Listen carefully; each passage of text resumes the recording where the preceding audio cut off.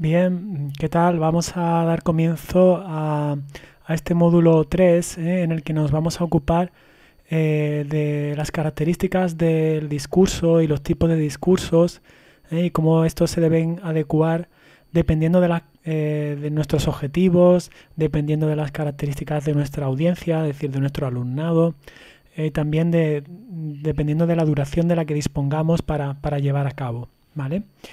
Muy bien, pues vamos a ir comenzando.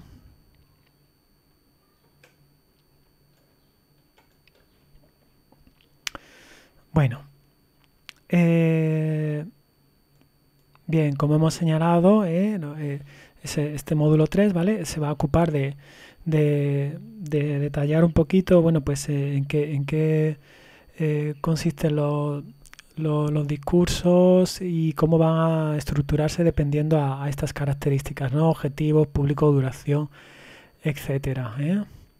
Bueno, em, lo primero que si os parece, eh, pues vamos a empezar un poquito, bueno, pues eh, definiendo, ¿vale? Acercándonos para tomar contacto eh, acercarnos a la definición de discurso. ¿eh?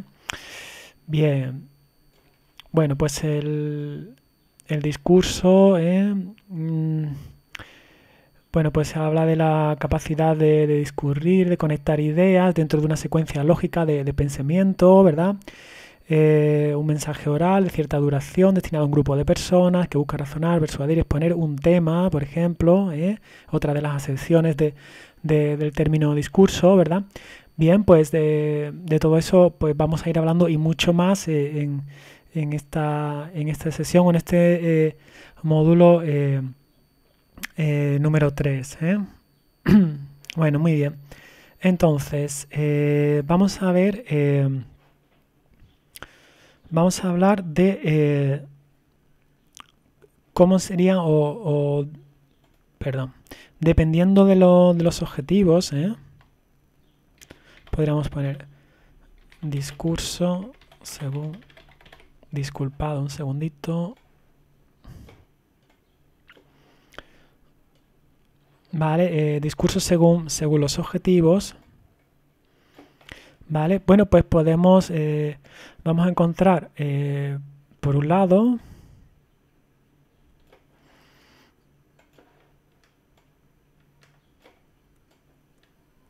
vamos a encontrar por un lado lo que sería el discurso eh, informativo. Mm. Vamos a orientar aquí. De acuerdo. Y eh, por otro lado, el que sería, vale, el discurso motivacional. ¿De acuerdo? Mm. Bien, aquí tenemos eh, el discurso informativo y el, y el discurso eh, motivacional. ¿De acuerdo? Eh, bueno, el primero de, ellos, mm, si el discurso informativo está orientado a que queramos transmitir o deseamos transmitir unos conocimientos, una información que deseamos que sea asimilado por nuestro, por nuestro alumnado. ¿vale? En este caso se supone eh, una de las características eh, sería que eh, habría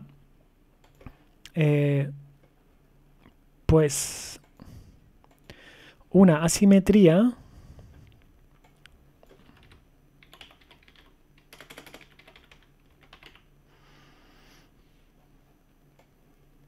vamos a disminuir el tamaño habría una asimetría cognitiva entre docente y alumnado.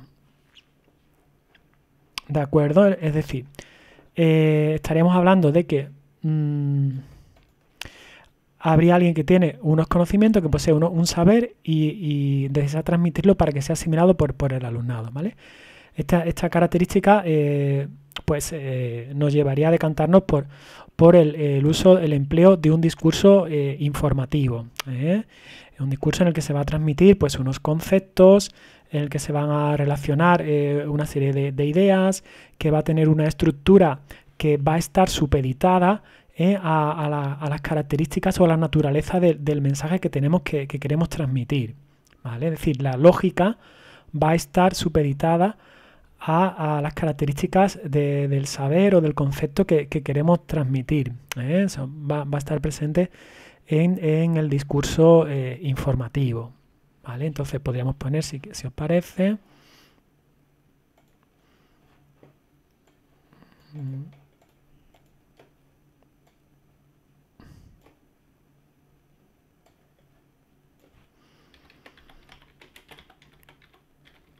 que la lógica discursiva, ¿vale? Estará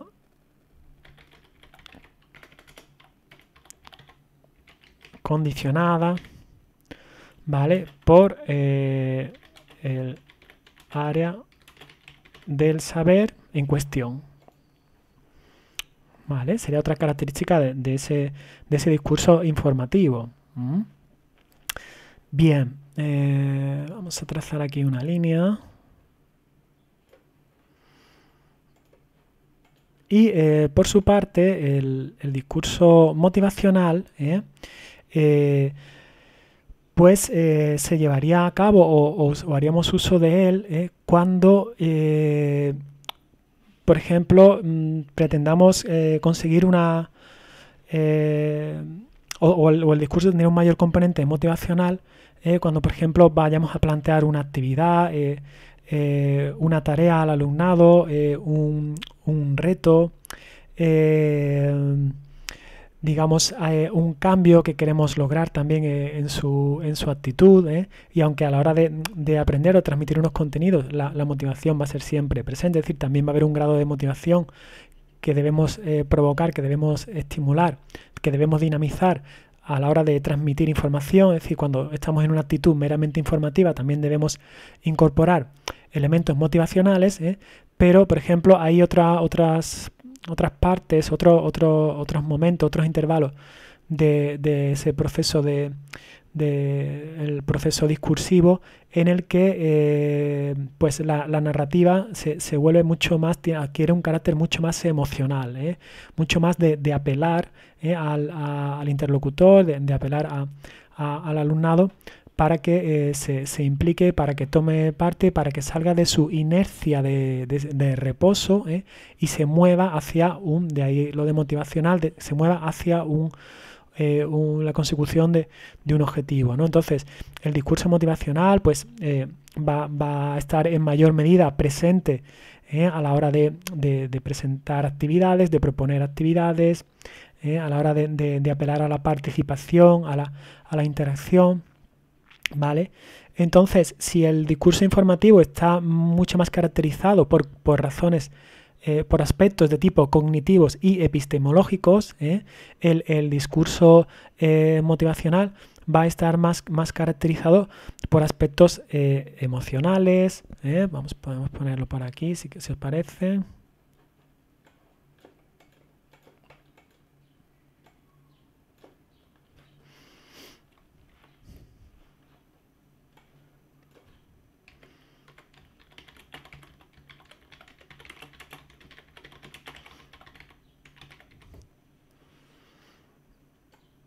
¿De acuerdo? Va a haber una mayor implicación de, aspectos emocionales. Vamos, vamos, a tratar de retar, vamos a tratar de, mover, de, dinamizar, ¿eh? para que el alumnado pues, eh, lleve a cabo tareas, eh, actividades y en definitiva tenga una, implicación más, más activa que la que le otorga de entrada o a priori el, el, discurso, el discurso informativo. ¿De acuerdo? Bien, eh, vamos a, si os parece, vamos a cambiar y vamos a hablar eh, ahora de aspectos que tienen que ver, que tienen que ver con, eh, pues el, las características de el discurso según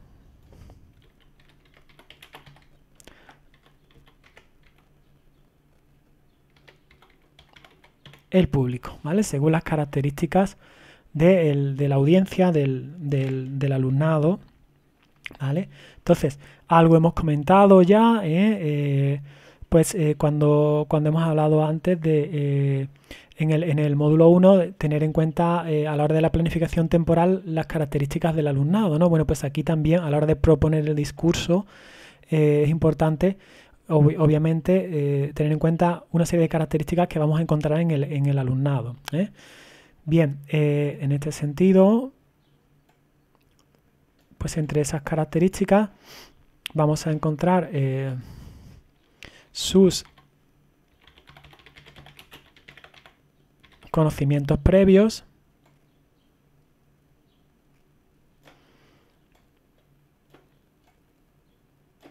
Vale, el, grado de conocimientos previos, evidentemente el discurso eh, el grado de, complejidad, de densidad o, de carga semántica que, va a tener ¿eh? va, a diferir en, eh, base a, los conocimientos previos que tenga el alumnado sobre esa materia. Si es una materia muy nueva, muy, desconocida para ellos, pues evidentemente tiene que estar adaptado en cuanto al, grado de, complejidad conceptual y, semántica. ¿vale? Entonces los conocimientos previos tienen que ser, tienen que ser tenidos en cuenta, que, qué duda cabe.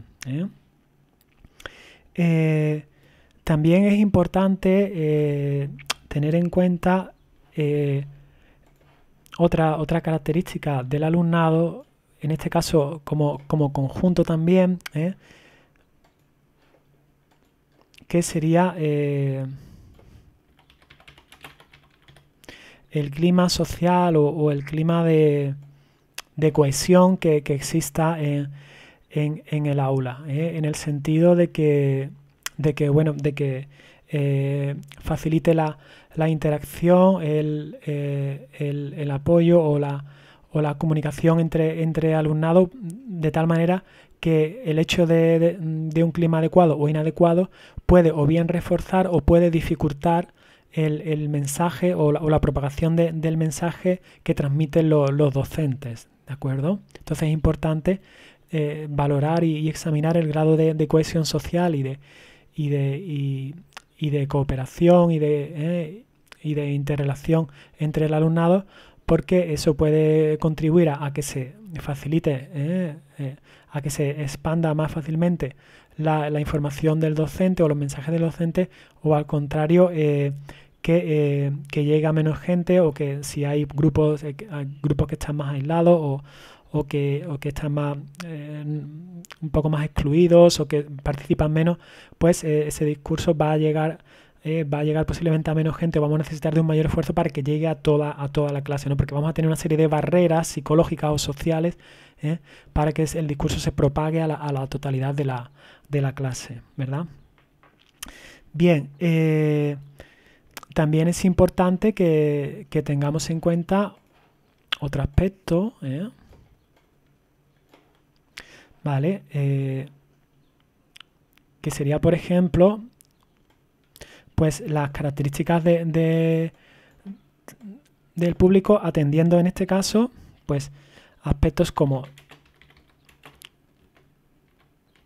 la hora del día, no es lo mismo, no van a estar igual de, eh, predispuestos o de receptivos, eh, bien por la mañana o a última hora de la, de la jornada, cuando están más cansados o después del descanso, etcétera, pues también a la, hora de organizar y gestionar y, de, manejar los contenidos del, discurso, del mensaje, ¿vale?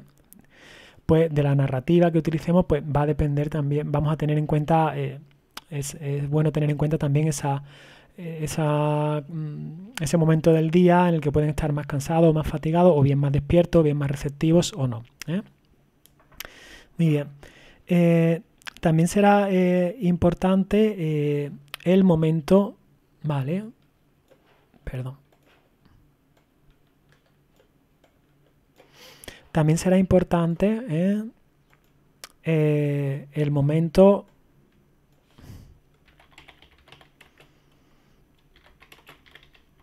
con respecto al, al curso académico. Es decir, que posiblemente no será igual eh, la receptividad o, la predisposición eh, a, implicarse en el discurso docente o en el discurso de enseñanza-aprendizaje si eh, en momentos distintos como por ejemplo estar a principio de curso o a mediados de curso o a finales con los exámenes ya próximos, con más saturación de trabajos, con más eh, estrés, si os parece, ¿de acuerdo? Entonces eh, podemos encontrarnos que vamos a necesitar a lo mejor repetir más veces eh, ciertos mensajes para, para, que queden, para que queden claros o apelar a, mensajes o a clases previas o a conceptos previos para conectar, para hacer más visible esa conexión porque están más saturados y les cuesta más hilar ideas o, mm, o abstraerse, ¿de acuerdo? Entonces es bueno tener en cuenta también esas, esas variables, saber, estar atento a los indicadores de, comportamiento, los indicadores eh, de atención, de motivación, que pueden variar a lo largo del curso según la etapa, ¿eh? si estamos pues a inicio o estamos en periodo próximo a los exámenes, etcétera. También es importante. Eh, bien, luego también el, discurso mm, tiene que ser abierto, debe ser consensuado. ¿eh? Entonces, debe ser consensuado también con, con, el, con el alumnado.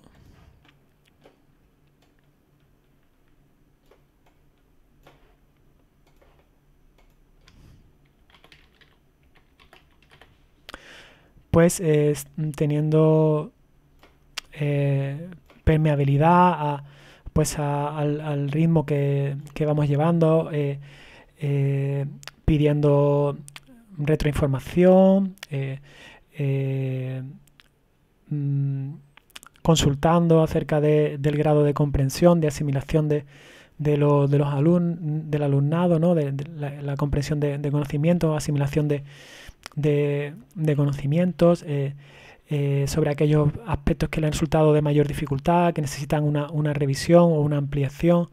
¿eh? Mm, entonces es, eh, debe haber, el, el, discurso que vamos utilizando siempre debe contemplar el, un cierto grado de, consenso para asegurarnos que, efectivamente la información vaya siendo asimilada en el mayor grado posible. Bueno, también es importante que el discurso transmita confianza en, ellos, que, que, se sientan pues que, confiamos en sus capacidades, que tenemos unas expectativas adecuadas, ¿eh? Eh, algo que, le predisponga positivamente a, aprender, a comprender, a trabajar, a realizar actividades, ¿de acuerdo? Eso siempre eh, va a ser positivo. Entonces, un, discurso que transmita pues unas expectativas que le anime a, dar ese paso, a reducir la, incertidumbre de si serán capaces de aprender, de entender o de hacer bien las tareas o las evaluaciones, etcétera. Bien, eh, vamos a seguir avanzando.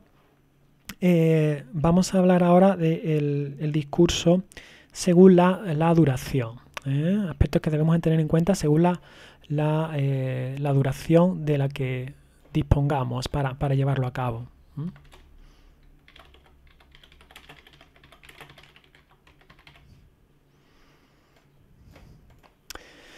Bien, eh, con respecto a la duración hay una, hay una máxima que es muy importante. Eh, de manera previa, apelamos una vez más al, módulo 1 cuando hablamos de la planificación temporal. ¿eh?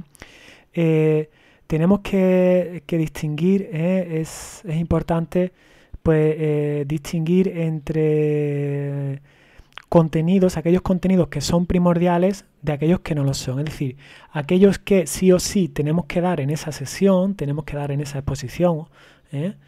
y aquellos que podrían ser imprescindibles. Esto es importante de eh, si llega el caso, si llega la, situación de que eh, nos, nos, veamos por algún imprevisto, porque necesitemos aclarar dudas más de lo previsto o porque alguna actividad nos lleve más tiempo de lo previsto, ¿eh? o, algún punto del contenido pues plantee más, más dudas de lo que habíamos planificado previamente y, nos ocupa más tiempo del que habíamos predeterminado con antelación, pues eh, tener claro cuáles son los contenidos primordiales, los que sí o sí tenemos que dar en esa clase y los que son accesorios o más secundarios y que podemos prescindir en un momento dado de ellos, pues nos será de gran ayuda cuando veamos que nos quedamos cortos de tiempo y, debemos eh, de, de, prescindir de algunos conceptos, ¿vale? Entonces es, será, será importante, ¿vale? Eh, mm, clasificar, un segundo.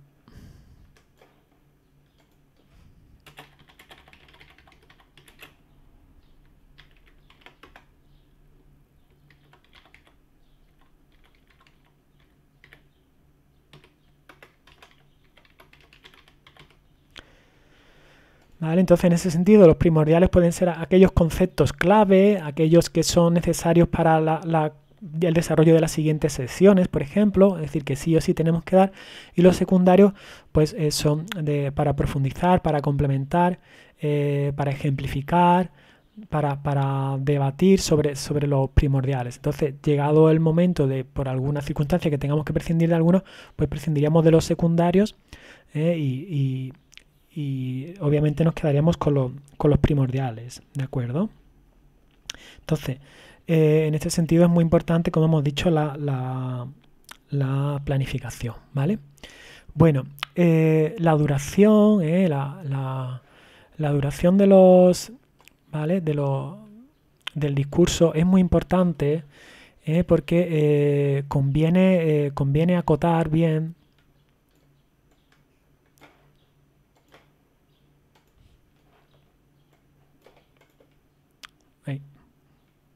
disculpad, aquí.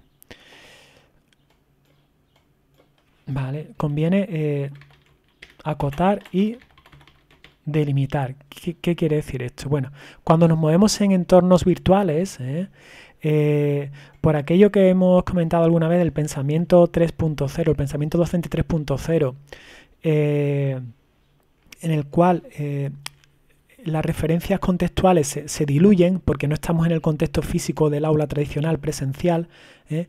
pues eh, conviene eh, acotar y, delimitar bien el, discurso, el, comienzo y el, fin del mensaje, cuándo va a estar completo el mensaje. Entonces, en este sentido, vamos a ver que se diluye mucho más por el siguiente hecho. Os pongo un ejemplo muy sencillo para que me entendáis. Yo puedo comenzar a transmitir un mensaje, un discurso eh, en una sala de, chat, ¿vale? Eh, pongamos, por ejemplo, en una, como hemos visto en otro de, de, los módulos de este curso, ¿verdad? Utilizando una sala de chat, hago una exposición oral, ¿vale? Y, puedo, por ejemplo, comenzar en una sala virtual. ¿eh? Pues transmito una información con ayuda de, una, de unas diapositivas. Un segundo que voy a aquí. Vale, yo transmito una, una información con ayuda de una, de una diapositiva, pongo unos conceptos y tal, ¿vale? Pero ese mensaje, esa información, ese concepto empieza a construirse ahí. Pero ojo, eh, pensamiento docente 3.0, insisto, posiblemente no acabe ahí. Es decir, eh, el, el, alumnado va a seguir, pero ahora por otros canales. Por ejemplo, se va a seguir trabajando, se va a seguir construyendo. Eh, el, conocimiento, pues en otros contextos virtuales, ¿vale? Que debemos de contemplar porque tendremos que participar ahí, eh, ¿vale? Se seguirá trabajando, por ejemplo,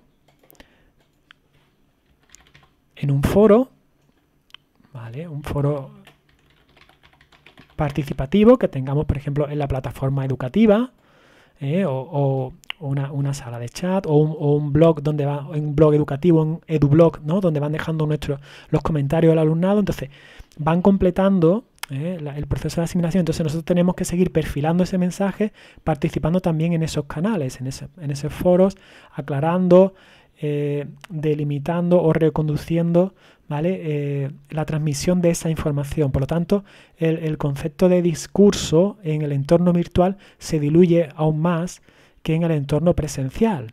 ¿Vale? Porque ese mensaje va, a seguir expandiéndose por otros canales diferentes. Por lo tanto, tenemos que tener eh, en cuenta para acotar y para delimitar, tenemos que tener en el, mensaje, tenemos que tener en cuenta también toda esa eh, diversificación eh, de, nuestro mensaje a través de distintos canales, a través de distintas plataformas, ¿vale? Que va mucho más allá del contexto del aula, clase física tradicional. Entonces, tenemos que tener en cuenta que podemos comenzar un mensaje, un concepto a transmitir en una sala virtual, pero que luego seguiremos perfilándolo a lo mejor en un foro, en, otra, en otro momento distinto, en un momento posterior, en un foro de debate de la plataforma educativa, en un blog, en un comentario, en, una, en un grupo de una red social, en una, en una red educativa.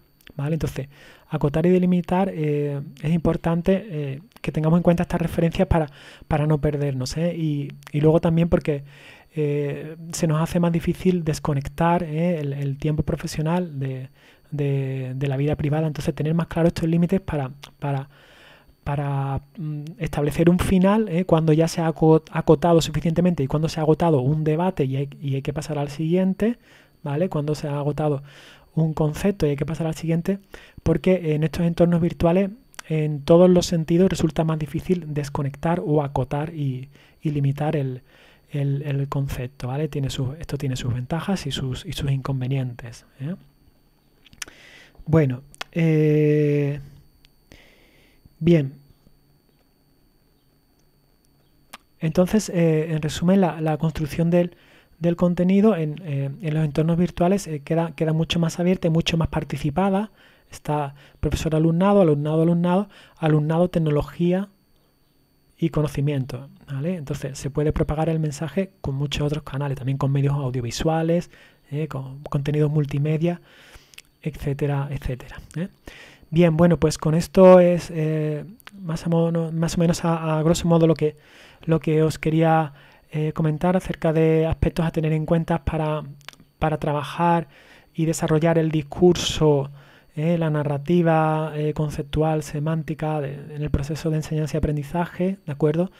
en un entorno virtual, ¿vale? la máxima general, a no perder de vista, es esa filosofía de pensamiento docente 3.0, ¿no? Es un discurso mucho más abierto, más, más participado, más difícil de acotar en el tiempo, ¿eh? de, poner y que, y que, se diluye por diferentes canales, eh, le hace eh, sala virtual, le hace foros de debate, le hace redes sociales, le hace correo electrónico, etcétera. ¿vale? Entonces es, un, es una narrativa mucho más diversificada, por un lado más enriquecida, pero que adquiere mayor complejidad que es importante que planifiquemos y que acotemos bien para, para no perdernos nosotros mismos en todo, eh, eh, en todo este eh, devenir o dinámica ¿vale? de, la, de la transmisión del conocimiento. ¿De acuerdo? Bien, pues con esto vamos a dar por terminado este módulo 3 acerca del discurso según los objetivos, según el público destinatario y según su duración. Un saludo.